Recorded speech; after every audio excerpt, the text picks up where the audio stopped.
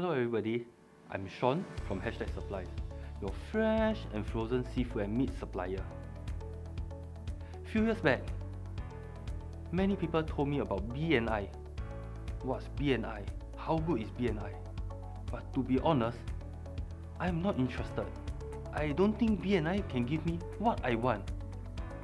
So people might think, why am I in BNI now? Let me share with you the real story.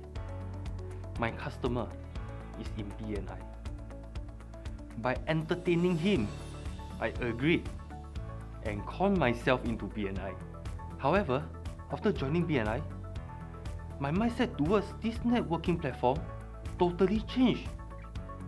The people that I met, the business that were referred to me were genuine.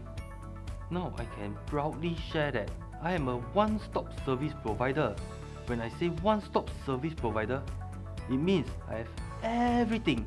Just like my seafood and meat have everything. For example, loan, renovation, insurance, property, car repair, everything. So after joining BNI for about a month, I got my first referral. I was so happy. Finally, I got a referral in BNI. I know referring business to another person is not that easy because your reputation is at stake.